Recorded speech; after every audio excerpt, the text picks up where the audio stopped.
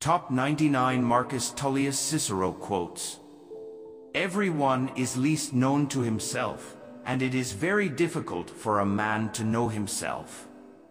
It is a true saying that one falsehood easily leads to another.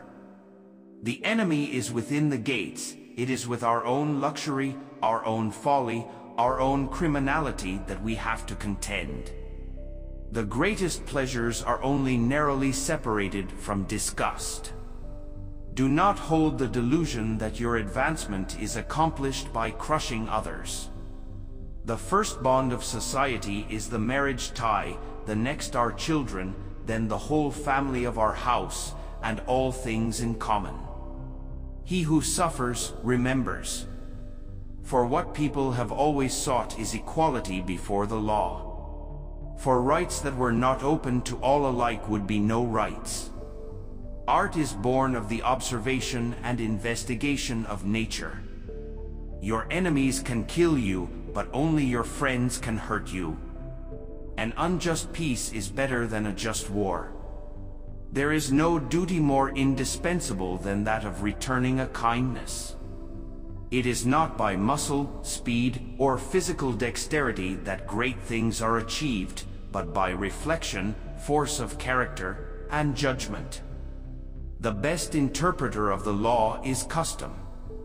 The spirit is the true self. The spirit, the will to win, and the will to excel are the things that endure. History illumes reality, vitalizes memory, provides guidance in daily life.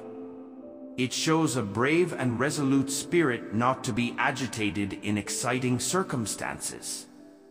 Few are those who wish to be endowed with virtue rather than to seem so.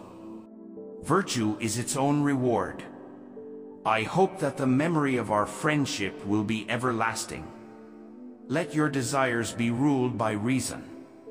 To add a library to a house is to give that house a soul, we are not born for ourselves alone. Friendship makes prosperity more brilliant and lightens adversity by dividing and sharing it. The contemplation of celestial things will make a man both speak and think more sublimely and magnificently when he descends to human affairs. I criticize by creation, not by finding fault. It is a crime to put a Roman citizen in chains it is an enormity to flog one, sheer murder to slay one. What, then, shall I say of crucifixion? It is impossible to find the word for such an abomination. The hours pass and the days and the months and the years, and the past time never returns. No wise man ever thought that a traitor should be trusted. I follow nature as the surest guide, and resign myself with implicit obedience to her sacred ordinances. I am a Roman citizen. We are born poets. We become orators. Nobody can give you wiser advice than yourself. If you pursue good with labor, the labor passes away, but the good remains. If you pursue evil with pleasure, the pleasure passes away and the evil remains. What is thine is mine, and all mine is thine. Next to God we are nothing. To God we are everything. A good orator is pointed and impassioned. If we lose affection and kindliness from our life, we lose all that gives it charm. We were born to unite with our fellow men and to join in community with the human race. Inability to tell good from evil is the greatest worry of man's life. Nothing is more noble, nothing more venerable than fidelity. Faithfulness and truth are the most sacred excellences and endowments of the human mind. In ancient times music was the foundation of all the sciences. Education was begun with music with the persuasion that nothing could be expected of a man who was ignorant of music. Law is the highest reason implanted in nature which commands what ought to be done and forbids the opposite. The aim of justice is to give everyone his due. There is no grief which time does not lessen and soften. What is permissible is not always honorable. We are bound by the law, so that we may be free. The devil finds work for idle hands to do. Better to reign in the hell than serve in heaven. We are in bondage to the law in order that we may be free. When you have no basis for an argument, abuse the plaintiff. Memory is the treasury and guardian of all things. Time is the herald of truth. Extreme justice is extreme injustice. The shifts of fortune test the reliability of friends. The function of wisdom is to discriminate between good and evil, the hope of impunity is the greatest inducement to do wrong. The harvest of old age is the recollection and abundance of blessing previously secured. Friendship was given by nature to be an assistant to virtue, not a companion in vice. Learning is a kind of natural food for the mind. Nothing is so unbelievable that oratory cannot make it acceptable. Friendship is nothing else than an accord in all things, human and divine, conjoined with mutual goodwill and affection. A friend is, as it were, a second self. To know the laws is not to memorize their letter, but to grasp their full force and meaning.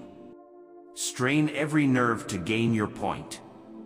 If our lives are endangered by plots or violence or armed robbers or enemies, any and every method of protecting ourselves is morally right. Brevity is the best recommendation of speech, whether in a senator or an orator. The precept, know yourself, was not solely intended to obviate the pride of mankind, but likewise that we might understand our own worth. The whole life of a philosopher is the meditation of his death. Cannot people realize how large an income is thrift? God's law is a right reason. When perfectly understood it is called wisdom. When applied by government in regulating human relations it is called justice. For there is assuredly nothing dearer to a man than wisdom, and though age takes away all else, it undoubtedly brings us that. The man who commands efficiently must have obeyed others in the past, and the man who obeys dutifully is worthy of someday being a commander. In prosperity let us most carefully avoid pride, disdain, and arrogance. To reduce man to the duties of his own city and to disengage him from duties to the members of other cities is to break the universal society of the human race. If nature does not ratify law, then all the virtues may lose their sway. The wise man never loses his temper. The absolute good is not a matter of opinion, but of nature.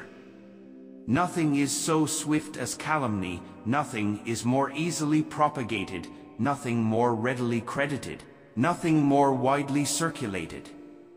Not to know what has been transacted in former times is to be always a child. If no use is made of the labors of past ages, the world must remain always in the infancy of knowledge. You will be as much value to others as you have been to yourself. There is no quality I would rather have and be thought to have than gratitude. For it is not only the greatest virtue, but is the mother of all the rest.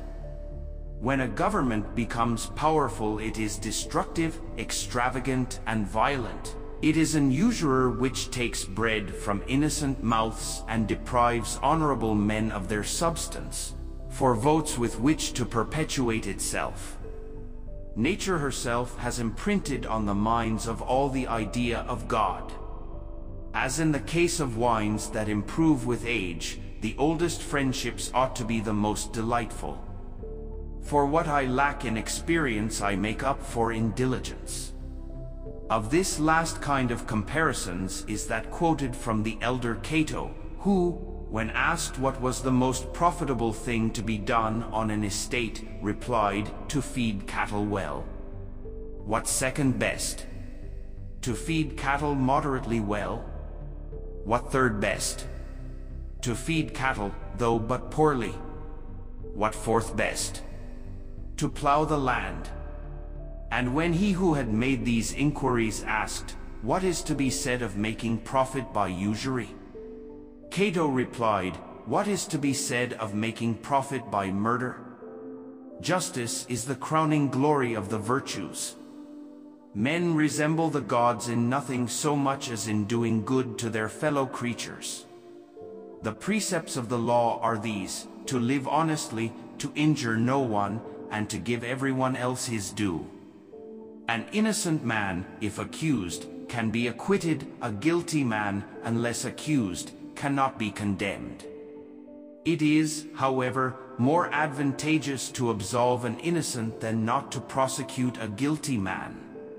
We are not born, we do not live for ourselves alone, our country, our friends, have a share in us. There is no place more delightful than home. Neither can embellishments of language be found without arrangement and expression of thoughts, nor can thoughts be made to shine without the light of language. By doubting we come at truth. The budget should be balanced, the treasury refilled, public debt reduced, the arrogance of officialdom tempered and controlled, and the assistance to foreign lands curtailed, lest Rome become bankrupt.